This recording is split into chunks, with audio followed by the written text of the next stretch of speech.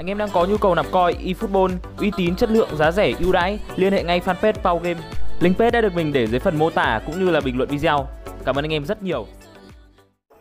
Hello anh em, chào mừng anh em đã quay trở lại với cả channel của mình và mình là Pau Game Day thì ngày hôm nay mình rất cảm ơn bạn Nguyễn Quốc Huy đã cho mình mượn nick để trải nghiệm về Martin Odegaard phiên bản Pau Booster mới nhất. Đây, Odegaard của chúng ta đây, chỉ số mắc là 100, chiều cao là 1m78 và độ tuổi là 25. Thuận chân trái Odegaard, rồi nhìn cái thể nó có đẹp không? Style Ultrator, một cái style uh, rất mới ở Odegaard Hệ thức tấn công là 85, điều khiển bóng là 98, rơi bóng là 91, xử lý công đoạn hẹp là 90, truyền thấp là 97 và truyền bổng là 88. Ôi, dứt điểm phiên bản này được boost lên là 86 và dứt điểm. Nhưng mà khả năng cầm bóng các thứ điều khiển bóng của Odegaard truyền trọt phải điên đấy. Sút phạt 85 và độ xoáy là 88 rất ngon, hiếu chiến là 77 và tham gia phòng ngự là 75 thôi. Tốc độ 75, tăng tốc 80, lực sút 91. Bật nhảy tỷ đề cực yếu rồi, thăng bằng 85, ổn cũng như là thể lực là 86 ok. Nhưng mà mình thấy rằng là 86 thể lực như này là cũng uh, chưa phải là quá tốt đâu anh em ạ. Đây là những cái chỉ số mà Odegaard được búp thêm cộng 3 là cái điều khiển bóng, cái dứt điểm, lực sút cũng như là cái tỷ đề. Skill sẽ gồm có này xoay compa này, racing sút, sút xa, heo chick, sút một chạm, truyền một chạm, chọc khe này, tạt xoáy, truyền không cần nhìn vào cuối cùng là skill về đội trưởng. Bộ skill rất đẹp đến từ Odegaard có đầy đủ truyền trọt rồi thì qua người rồi sút xa các thứ. Và bây giờ chúng ta cùng đến với cả trận thiếu đầu tiên cùng với cả Martin Odegaard anh em nhé. À, đầu tiên à, tại vì sao ngày hôm nay mình sẽ uh, trải nghiệm Martin Odegaard ở Ultrator nhưng mà mình sẽ không trải nghiệm cái style này. Tại vì cá nhân mình thấy rằng là Ultrator với Martin Odegaard là không hợp. Mình chơi và mình thấy rằng không hợp một xíu nào anh em ạ. Nghề đá Martin Odegaard có cái style này đá khá là khó và bình thường anh em biết rồi, mình là một người rất thích chơi Ultrator. Nhiều anh em sẽ không thích bằng box to box đâu, nhưng mà cá nhân mình mình là một thằng khá là cần một Ultrator trong đội hình, nhưng mà riêng Odegaard ở cái phiên bản này, mình thấy rằng cái style này nó không tương thích với Odegaard lắm. Và mình đá thấy Odegaard mặc dù có cái nhận thức tấn công, nó không phải quá kém, nhưng mà nó cũng có đủ để Odegaard có thể tham gia tấn công nhưng mà Odegaard tham gia tấn công cực kỳ ít khi mà đá CMF đá cái vị trí mà kích hoạt cái style phải thấy rằng Odegaard lùi lại giật lại liên tục và rất khó chịu cho mình. Khiến cho những cái nhịp tấn công hay là nhiều tình huống Odegaard không thực sự tốt. Và đây là Martin Odegaard không được.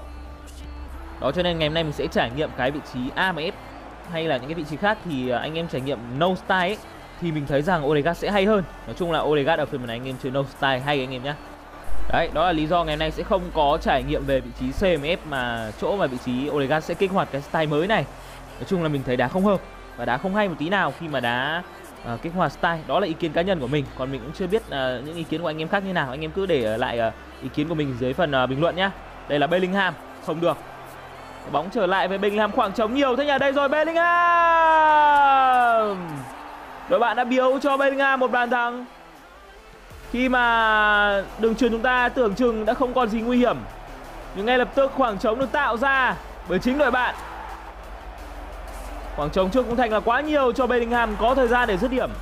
Và pha dứt điểm vừa rồi là tung nóc lưới. Rất đơn giản với bàn thắng đầu tiên. Bóng đến chân của Odegaard.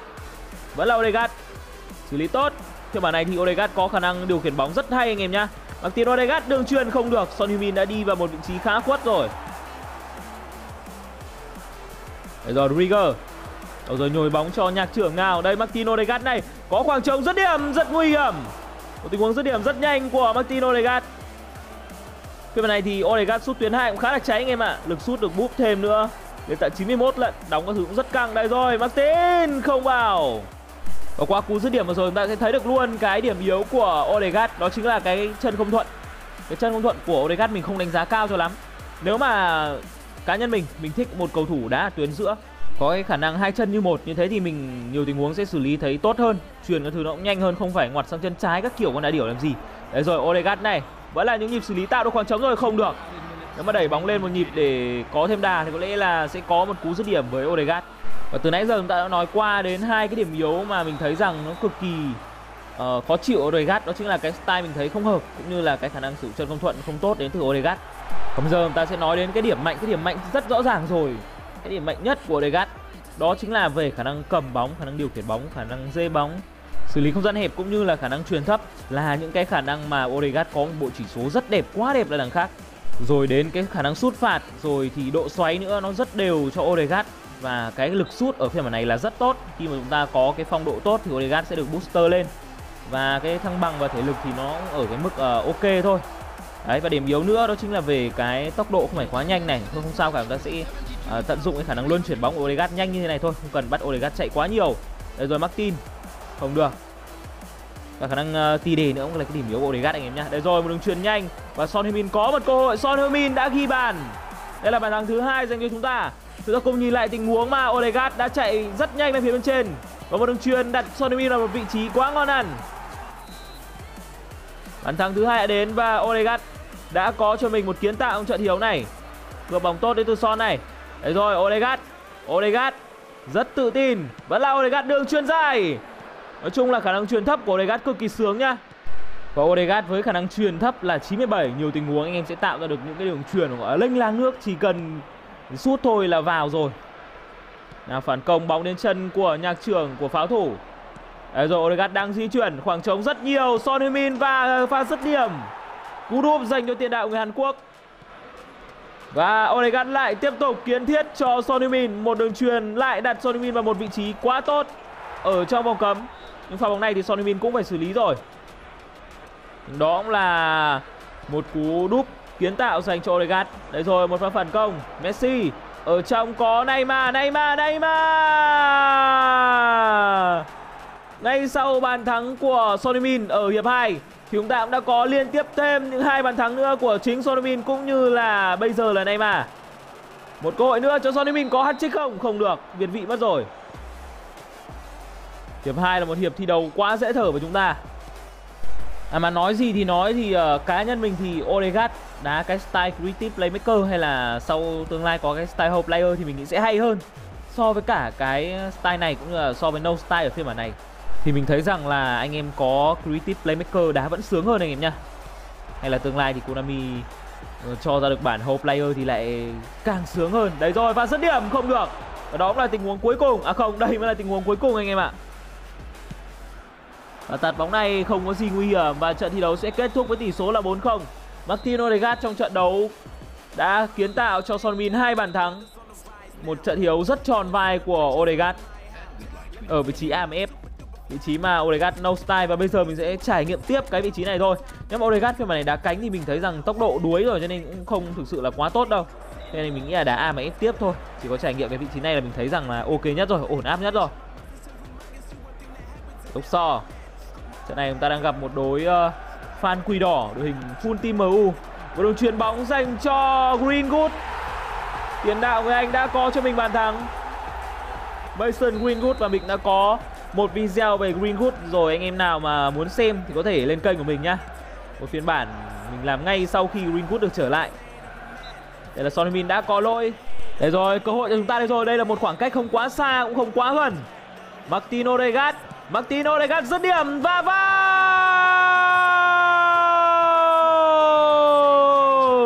Một siêu phẩm dành cho Martino Odegaard chúng ta cùng nhìn lại bàn thắng đá phạt hàng rào của Martino Odegaard Bóng đi quá xoáy, lượn qua hàng rào và đi vào góc. Nơi Monana không thể với đến. Một đường bóng quá đẹp mắt. Bóng cuộn cực kỳ khó chịu Monana thì chịu rồi. Bàn thắng cho Legat. Và chúng ta đã gỡ hòa trận thi đấu này. Thời gian vẫn còn rất nhiều. Olegat Martin Olegat đảo cánh nào? Đây rồi! Không được. Không đến được vị trí của phía cánh bên kia. Nhưng bóng lại trở lại với Không được rồi. Trận thi này ở đội bạn dùng team MU pressing các thứ nhanh quá anh em ạ. Áp sát các kiểu rất nhanh. Đây cần Rai, Sonny Min, đây rồi Odegaard lại di chuyển kìa. Đường chuyền đến vị trí của Odegaard đây rồi. Odegaard rồi, ôi sút vội qua nhưng đó là một tình huống khá nguy hiểm.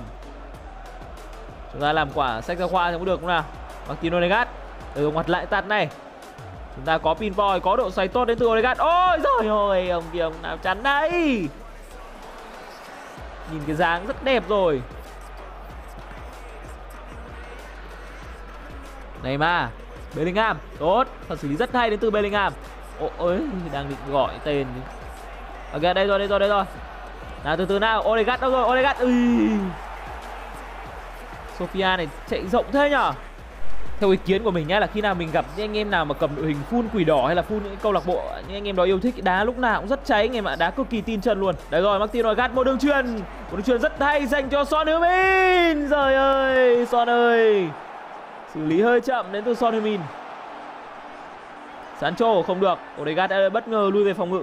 Nói chung thì khả năng phòng ngự của Odegaard không phải tốt đâu, anh em đừng trông chờ gì nhiều anh em nhé thỉnh thoảng sẽ thấy Odegaard lui về phòng ngự, nếu mà đá ép thôi, còn đá CMF mặc dù đứng thấp như thế thì Odegaard cũng phòng ngự chán lắm. Đấy rồi, một đường chuyền hay ra cánh cho Messi này. Đấy rồi, trả ngược lại tuyến hai, nơi mà Odegaard xuất hiện, Dứt điểm không vào.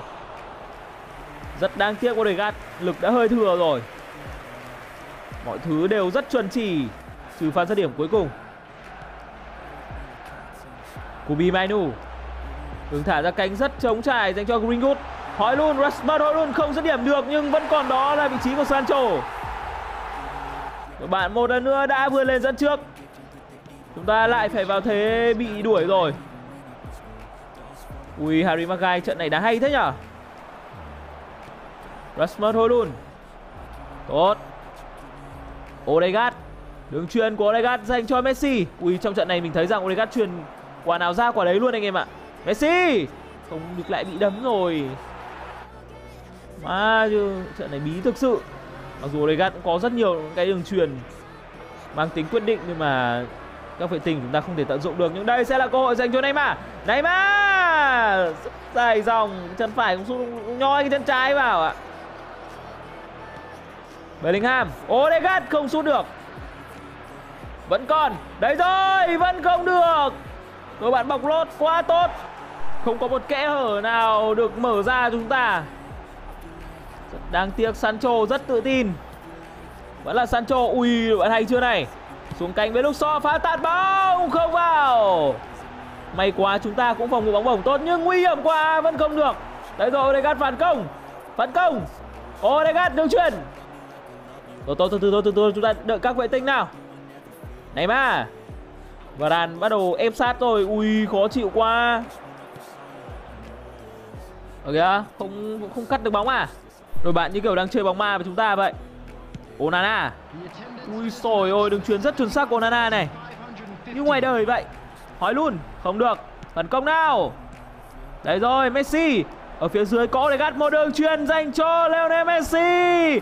Khoảng trống đây rồi, Messi vào.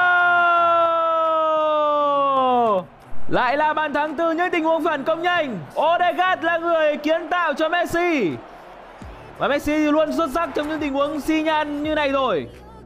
Và đường truyền này là quá vừa tầm. Rất vừa tầm với đà di chuyển của Messi. Và chúng ta đã gỡ hòa trận hiếu này. Cơ hội thì vẫn còn để chúng ta có thể hoàn thành pha lội ngược dòng.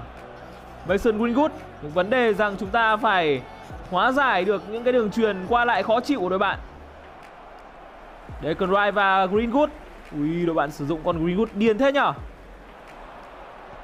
Costa Cuta tốt.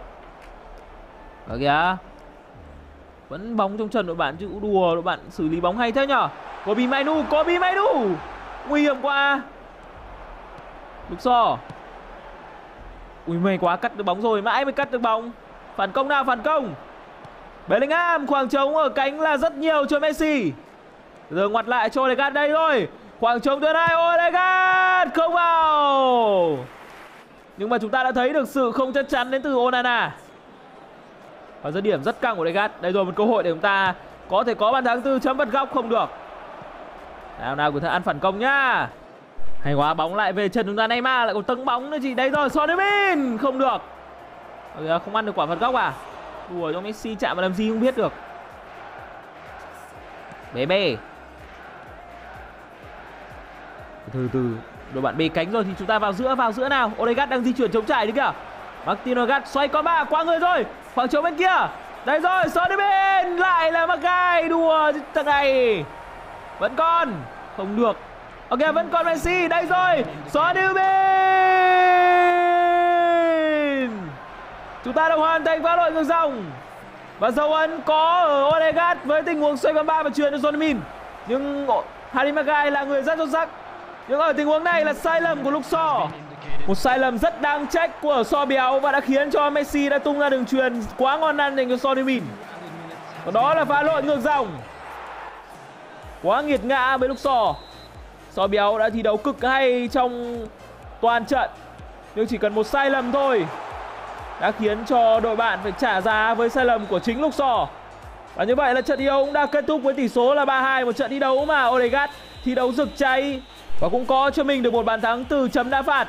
Một trận thi đấu và một siêu phẩm bàn thắng dành cho Odegaard. Và bây giờ mình xin kết thúc cái bài trải nghiệm nhanh về Odegaard đây thôi. Và nếu như anh em nào đang có nhu cầu được coi, có thể liên hệ mình qua fanpage Pau Game. Mình để link dưới phần mô tả anh em nhé Còn bây giờ thì bye bye!